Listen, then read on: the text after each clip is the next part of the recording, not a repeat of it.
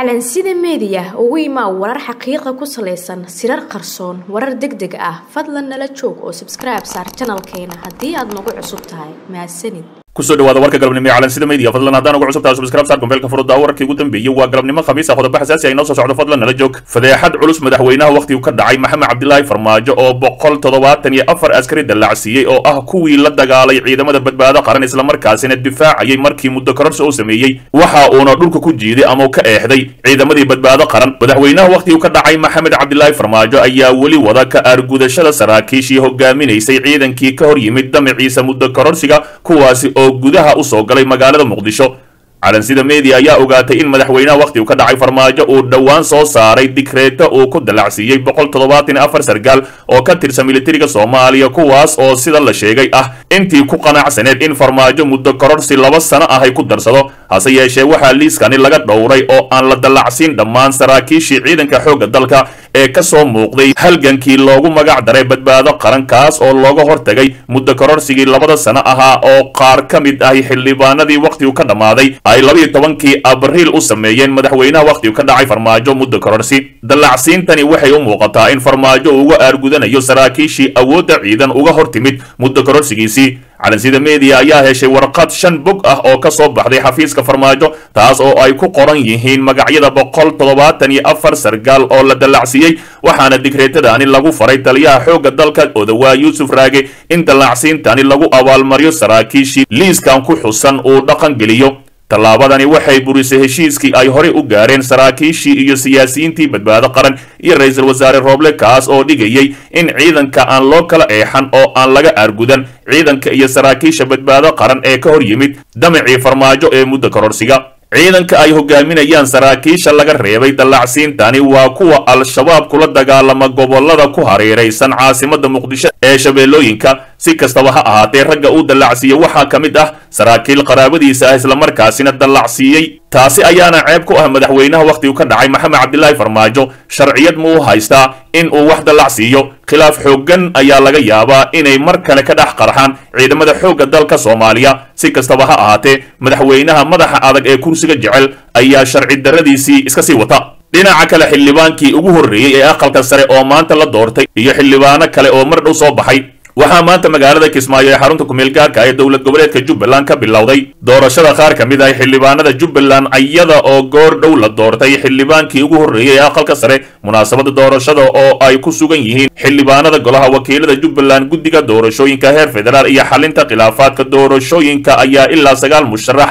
Waxa ay ku tartameen afar kursi oo ka mid ah xildhibaanada aqalka sare ee baarlamaanka kow iyo tobanaad kursigii ugu horreeyey ee xildhibaanada aqalka sare ayaa waxaa ku tartamay ilyaas bedel gaboose oo ku guulaystay kursiga isaga oo helay konton iyo shan cod halka maxamed axmed sayid uu helay toban iyo toddoba cod hal codna uu hallaabay halka sharmaarka maxamed cabdi oo ka mid ahaa musharaxiinta uusan ka qayb gelin tartanka doorashada. Guddoomiyaha golaha wakiilada jubbaland cabdi maxamed cabdiraxmaan oo natiijada doorashada ku dhawaaqay ayaa sheegay in kursigii ugu horreeyey ee xildhibaanada aqalka sare uu ku leeyahay maamulka jubbaland oo ku guulaystay ilyaas bedel gaboose waa xildhibaankii aqalka sare ee ugu horreeyey ee doorashada labaatanka ku soo baxay. Dhinaca kale xildhibaankii labaad ee aqalka sare oo la doortay kaasi oo ah mid si weyn uga soo horjeeda madaxweynaha wakhtigu ka dhacay maxamed cabdilaahi farmaajo waxaa durba soo baxaya xildhibaanada ka soo horjeedo farmaajo. Waxaa weli magaalada kismaayo ee gobolka jubbada hoose ka socda doorashada qaar ka mid ah xildhibaanada aqalka sare iyada oo goor dhoweed la doortay xildhibaankii labaad ee aqalka sare munaasabada doorashada oo ay ku sugan yihiin xildhibaanada golaha wakiilada jubbaland guddiga doorashooyinka heer federaal iyo xalinta khilaafaadka doorashooyinka ayaa ilaa iyo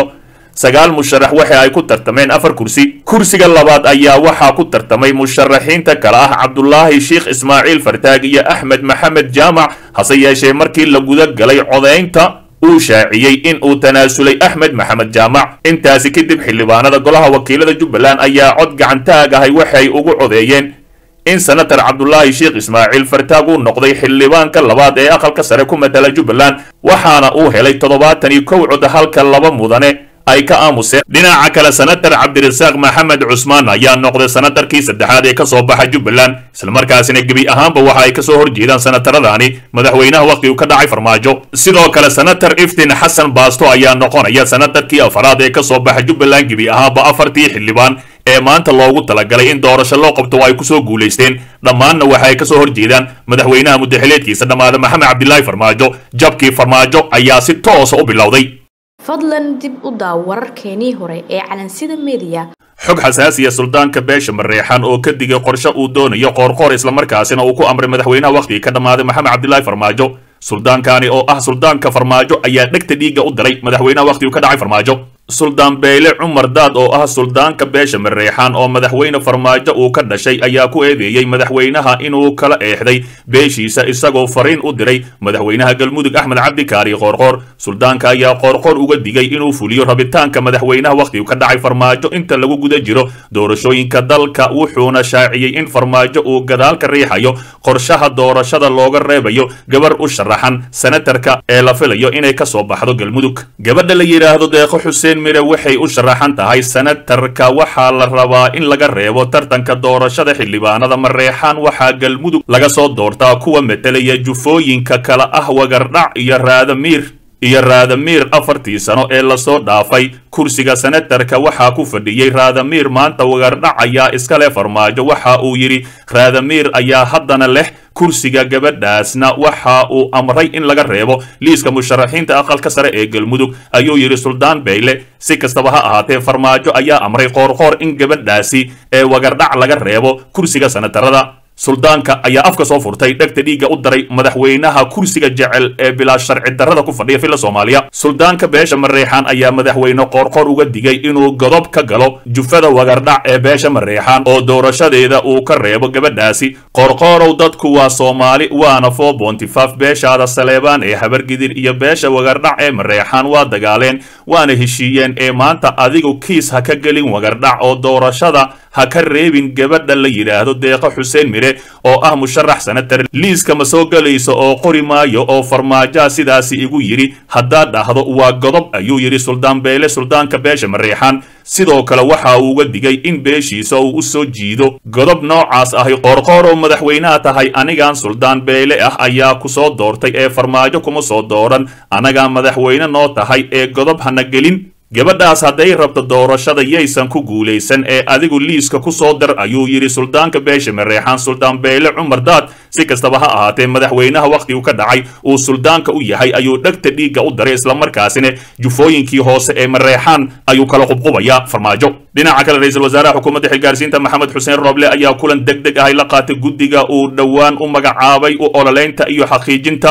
qoondada haweenka ee boqolkiiba soddon oo ka hor yimid liiska xubnaha musharaxiinta golaha aqalka sare ee uu daraad shaaciye axmed madoobe. Kulankan oo ku qabsoomay qaabka fogaan aragga ah ayaa waxaa looga hadlay saluugii guddoomiyaha guddigaasi ay ka muujisay tirada haweenka ah ee ku jira sagaalka xubneed ee uu shaaciyey maamulka jubbaland ra'iisul wasaaraha ayaa ugu horrayntii guddiga ku bogaadiyey howsha loo igmaday ee xaqiijinta qoondada haweenka boqolkiiba soddon midaasi oo qayb ka ah heshiiskii doorashada ee lagu gaaray magaalada muqdisho. Rooble ayaa intii uu socday kulankaasi waxa uu furay guddiga xaqiijinta qoondada haweenka ee golayaasha baarlamaanka federaalk soomaaliya inay si dhow ula shaqeeyaan madaxda dowlad goboleedyada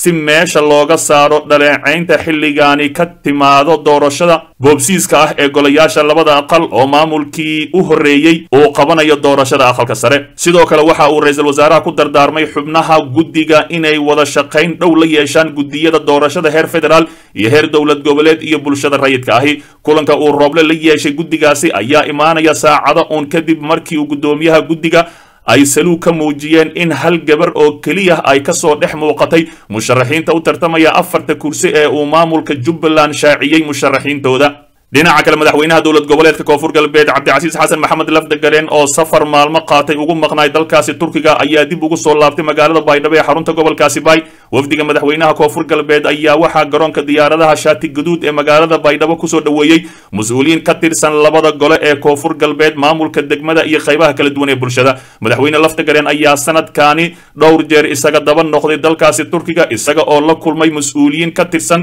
dalkaasi iyo jaaliyadaha koonfur galbeed ee ku dhaqan meelo ka mid ahay dalkaasi turkiga. Sidoo kale madaxweynaha koonfur galbeed cabdicasiis xasan maxamed lafdagaren ayaa la filayaa inuu shir la qaato golaha wasiirada islamarkaasina sida ugu dhaqsaha badan uu dardargeliyo doorashada aqalka sare ee baarlamaanka federaalk soomaaliya. Howl adag ayaa u taallo. Dhegaystow ogow haddaadan xalka qayb ka noqon waxaad qayb ka tahay dhibaatada dalka